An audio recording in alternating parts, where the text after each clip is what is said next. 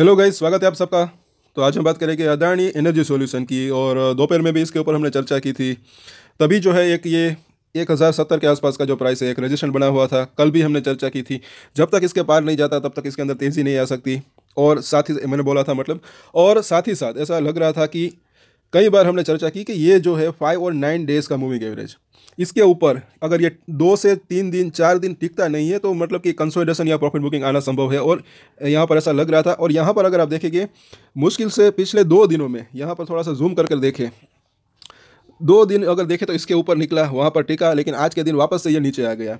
और कई लोग इसके अंदर पूछते हैं कि ये रीज़न क्या है करेक्शन का? तो मुझे ऐसा लग रहा है कि ये जो है एक प्रॉफिट बुकिंग हो सकती है बिकॉज़ कि यहाँ से लेकर यहाँ तक अच्छी खासी जो है तेज़ी आई थी, उसके बाद ये प्रॉफिट बुकिंग आई और ये फिर कंसोलिडेशन हुआ, फिर नीचे आया, फिर बाउंस बैक आया और अब वापस से थोड़ा सा जो है यहाँ पर ये मतलब कि कंसोलिडेशन या फिर थोड़ी सी प्रॉफिट बुकिंग आ रही है, कहीं ना कहीं ऐसा लग रहा है।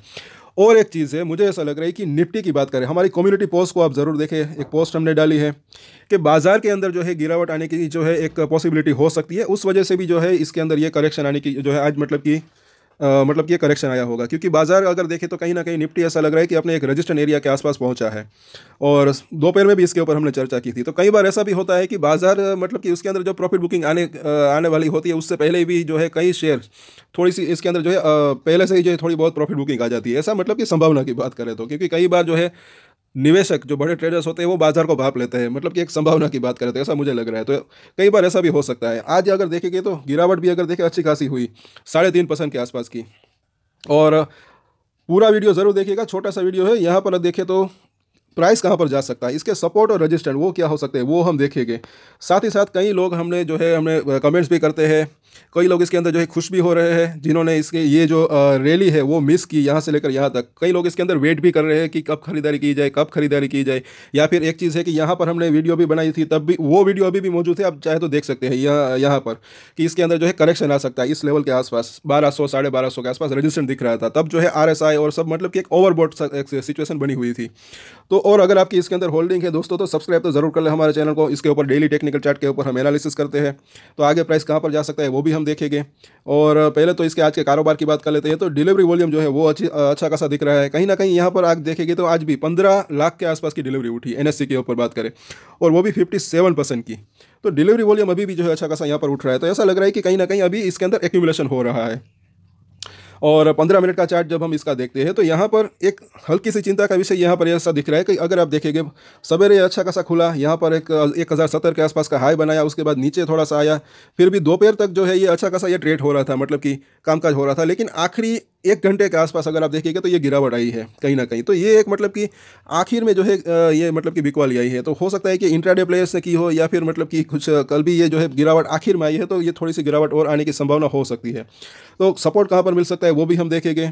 साथ साथ अब पहले तो इसका वीकली चार्ट देखें और एक चीज़ है जो कि हमने पहली पिछली बार भी बोली है कि हाँ इसके अंदर कुछ अगर सरप्राइजिंगली न्यूज़ आ जाती है, तब की बात अलग है। बाकी टेक्निकल चार्ट की अगर बात करें तो अभी थोड़ी सी वीकनेस दिख रही है। पिछले तीन चार दिन से जो है, इसके ऊपर हमने चर्चा की है कि थकान सी महसूस हो रही है इसके अंदर, ऐसा लग रहा है। क्योंकि ये फाइव और नाइन डेज़ के मूविंग एवरेज के ऊपर नहीं निकल रहा था, वहाँ पर उसके ऊपर जाने में जो है, थोड़ी सी मतलब कि तकलीफ़ हो रही थी, ऐसा लग रहा है। और एमएससीडी का भी जो है, एक बेरिस क्रॉस हुआ था, उसके ऊपर भी चर्चा करेंगे। वीकली चार्ट के ऊपर जब हम इसको देखते हैं तो इसका जो नज़दीकी सपोर्ट है, एक तो हज़ार रुपये के आसपास का है राउंड फिगर नंबर से, उसके बाद देखें तो ये एक जोन है, ये एक अच्छा खासा स्ट्रॉन्ग सपोर्ट इसके लिए बन सकता है। लेकिन यहाँ पर भी अगर आप देखेंगे जो कि ये लेवल जो है, नौ सौ पचहत्तर रुपये के आसपास का है। यहाँ पर अगर आप देखें टिक किया हुआ है।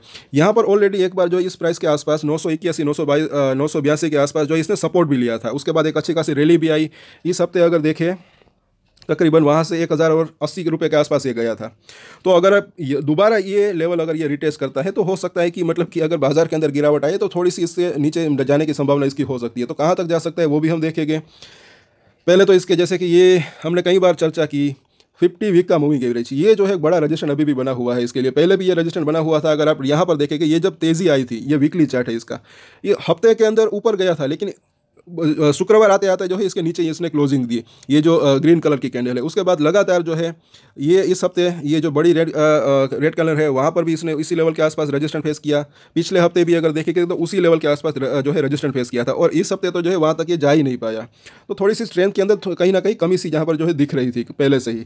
अब यहाँ पर भी अगर आप बात करें, और इसीलिए जो है हमने चर्चा की थी, मैंने बोला था कि मुझे ऐसा लग रहा है कि ये, एक तो ये जो है ये दो सौ दिनों का मूविंग एवरेज और ये पचास वीक का मूविंग एवरेज उनको पार करेगा तो जो है तेज़ी आने की संभावना हो सकती है अदरवाइज़ थोड़ा सा कंसोलिडेशन या प्रॉफिट बुकिंग आने की संभावना हो सकती है। जैसे कि यहाँ पर, अभी तो फ़िलहाल ये जो है 200 दिनों का मूविंग एवरेज काफ़ी एक जो है कई दिनों से अगर आप देखेंगे, इसके ऊपर गया था, उसके बाद नीचे आया, जब से इसको तोड़ा है, तब से लेकर अब तक जो है यहाँ पर कई दिन हो गए, इसके ऊपर जाने में इसको एक स्ट्रगलिंग कर रहा है, ऐसा लग रहा है कहीं ना कहीं। यहाँ पर भी अगर आपने देखा है, और फिर नीचे थोड़ा सा आया फिर अभी रिसेंटली कल के दिन और आज के दिन वापस से इसके ऊपर जाने की कोशिश की, लेकिन ये वहाँ पर टिक नहीं पा रहा है कहीं ना कहीं। और ये लेवल है एक हज़ार सत्तर के आसपास का। तो ये अभी जो है दोनों के दोनों रजिस्ट्रेंट बने हुए हैं। दो सौ दिनों का मूविंग एवरेज और पचास वीक का मूविंग एवरेज ऐसा लग रहा है। साथ ही साथ अगर इसके अब स्ट्रॉन्ग सपोर्ट की बात करें, जैसे कि हमने देखा कि नौ सौ पचहत्तर को अगर इस बार ये ब्रेक करता है, तब की बात है। और ये बात हो रही है सब शॉर्ट टर्म की। लॉन्ग टर्म में जो है लॉन्ग टर्म के लिए ये अच्छा रह सकता है, ऐसा मुझे लग रहा है। बाकी शॉर्ट टर्म में वॉलेटिलिटी रह सकती है, ऐसा लग रहा है। तो यहाँ पर 50 डेज़ का मूविंग एवरेज इसके ऊपर नज़र रख सकते हैं। अभी ये 926 के आसपास है थोड़ा थोड़ा ये अभी भी ऊपर आ रहा है, लेकिन इसी जोन के आसपास 925 यानी कि सवा नौ से 900 रुपए का जो जोन है, वो एक अच्छा स्ट्रॉन्ग सपोर्ट इसके लिए बन सकता है। अगर गिरावट आती है, तब की बात है। उससे पहले भी कुछ सपोर्ट है, जहाँ पर यह सपोर्ट ले सकता है, जैसे कि हज़ार के आसपास का जोन उसके ऊपर भी हम आगे चर्चा करेंगे, और यहाँ पर इसका बोलिंजर बैंड ज़रा देखिए। आज के दिन हुआ क्या? मिडिल लाइन को इसने ब्रीच कर दिया नीचे की तरफ़। जैसे कि सवेरे दोपहर में ही हमने चर्चा की थी, तब जो है ये इसी मिडिल लाइन के आसपास काम कर रहा था। पिछली बार मैंने बोला था कि यहाँ से ये बाउंस बैक ले सकता है, और तब जो है ये जो इसकी मिडिल लाइन है, नीचे थी यहाँ पर। यहाँ पर इसने बाउंस बैक दिया था, उसके बाद एक अच्छा खासा बाउंस बैक भी आया इसके अंदर। और अब की बात, जैसे कि हमने बात की थी, कई दिनों से चर्चा कर रहे हैं कि अब जो है क्योंकि इसको इसने तोड़ा है। हालाँकि हो सकता है कि यहाँ पर अब थोड़ा सा मतलब कि ये संभलने की कोशिश करे, कल के दिन, कल का दिन जो है देखना बनता है फिर भी। लेकिन अगर देखें तो ये अब इसकी जो ये निचली लाइन है, सपोर्ट की बात करें तो यहाँ पर इसको सपोर्ट मिल सकता है। अभी ये नीचे है, लेकिन ये जो है अभी ऊपर आ रही है। आने वाले दिनों में ऐसा लग रहा है कि ये नौ सौ, सवा नौ सौ रुपये तक आ सकती है इसकी बुलिंजर बैंक की निचली लाइन डेली चार्ट के ऊपर। तो वहाँ पर इसको जो है सपोर्ट मिल सकता है। और रजिस्टेंट की बात करें तो ये जो है बारह सौ रुपये के आसपास का ये ऊपरी लाइन है, वहाँ पर इसको रजिस्टेंट फेस करना पड़ सकता है। अगर बाउंस बैक आता है, तब की बात है। लेकिन उससे पहले जैसे कि हमने देखा, दो सौ दिनों का मूविंग एवरेज एक रजिस्ट्रेंट है, उसके बाद पचास वीक का मूविंग एवरेज वो भी एक रजिस्टर दिख रहा है। और यहाँ पर अगर आप देखेंगे तो इसी लेवल के आसपास, बारह सौ, साढ़े बारह सौ रुपये के आसपास, तीन दिन लगातार इसने वहाँ पर रजिस्टर फेस किया था। और वीकली चार्ट के ऊपर भी अगर आप देखेंगे, यहाँ पर आप देख सकते हैं बुलिंजन जनबर्न का जो ये इंडिकेटर है, काफ़ी यूजफुल रह सकता है। अगर इस हफ़्ते की अगर आप बात करें तो यहाँ पर इसकी जो ऊपरी लाइन है, एक हज़ार और छिहत्तर, बिल्कुल उसी लेवल के आसपास जो है, इसने कल एक जो है रजिस्टर्ड फेस किया था। वहाँ पर इसने हाई बनाया था। वहाँ से एक अच्छी खासी इसके अंदर जो है गिरावट देखने को मिली। कल जो है ये थोड़ा सा ऊपर था, ये मूविंग मतलब कि ये जो लाइन है बुलिंग जर्मन की ऊपरी लाइन इसके अंदर भी जो है थोड़ा बहुत चेंजेस होता रहता है हर दिन प्राइस के अकॉर्डिंग मुझे ऐसा लग रहा है। तो कल जो है थोड़ा सा मतलब इसी लेवल के आसपास इसने जो है एक रजिस्टेंट फेस किया है और यहाँ पर ये आप देख सकते हैं। उसके बाद थोड़ा सा हल्का सा नीचे आया है और कल का दिन थोड़ा सा इंपॉर्टेंट भी रह सकता है कि कल ये कैंडल कैसी बनती है पूरे हफ़्ते की, ये भी देखना बनता है अभी। और आगे हम देखें तो यहाँ पर भी इसका जो है डेली चार्ट के ऊपर, अब इसका एम देख लेते हैं। तो यहाँ पर भी अगर आप देखेंगे, एक बेरिस क्रॉसओवर जो है, यहाँ पर हो चुका था। तभी हमने जो है चर्चा की थी कि इसके अंदर अब थोड़ी सी स्ट्रेंथ की कमी जो है दिख रही है। हालाँकि ये बेरिस क्रॉसओवर जो है थोड़ा सा इतना मतलब कि स्ट्रॉन्ग नहीं था। यहाँ पर ये जो पहला बार था, वो इतना बड़ा नहीं बना था। लेकिन उसके बाद ये बार ये बार जो है थोड़ा थोड़े बड़े बनते गए। और उसी वजह से कहीं ना कहीं जो है, ये करेक्शन या प्रॉफिट बुकिंग तो आई, लेकिन इतनी ज़्यादा नहीं आई, अभी अगर बात करें। क्योंकि तब जो ये बेरिस क्रॉस ओवर हुआ था, इस लेवल के आसपास था ये। हज़ार रुपये के ऊपर था तब, और अब वहाँ से लेकर अब तक जो है, थोड़ी सी हल्की सी गिरावट आई है यहाँ पर। लेकिन अभी भी आज के दिन की अगर बात करें तो यहाँ पर जैसे कि आप देखें, वापस से कल जो है ये एक गुलाबी कलर की कैंडल बनी थी, एक हल्की सी, ये जो ब्लू कलर की लाइन है, ऊपर मुड़ने की कोशिश हुई थी, लेकिन आज फिर से जो है ये रेड कलर की बार बनी है, और कल के मुकाबले थोड़ी सी बड़ी बनी है। तो वापस से इन दोनों ही जो ये लाइन है, इसके बीच में जो है गैप जो है थोड़ा सा बड़ा है। अब यहाँ पर आगे देखते हैं इसके आरएसआई तो आरएसआई जो है सिक्सटी के नीचे है, अभी फिफ्टी फोर के आसपास है। स्ट्रेंथ की थोड़ी सी कमी यहाँ पर दिख रही है, ऐसा अभी भी लग रहा है। हालाँकि ये ओवरबॉट या ओवर सोल्ड नहीं है, लेकिन न्यूट्रल कंडीशन में है, ऐसा लग रहा है, लेकिन 60 के थोड़ा सा नीचे है 54 के आसपास है अभी। और यहाँ पर अभी देखिए डेली चार्ट के ऊपर अब समरी कर लेते हैं इसके सपोर्ट और रजिस्टेंट की। और खरीदने और बेचने की बात करें तो हमने कई बार चर्चा की है तो कि थोड़ा थोड़ा खरीदे मतलब कि एक अच्छी स्ट्रेटेजी जो है ये रह सकती है कि मतलब कि मुझे ऐसा लग रहा है कि थोड़ा थोड़ा करके खरीदना या थोड़ा थोड़ा करके बेचना, वो एक अच्छी स्ट्रेटेजी रह सकती है। इसके जो है रिस्क रिवॉर्ड रेशियो जो है, वो अच्छा रह सकता है। यहाँ पर बाकी मतलब कि मर्ज़ी अपनी अपनी होती है।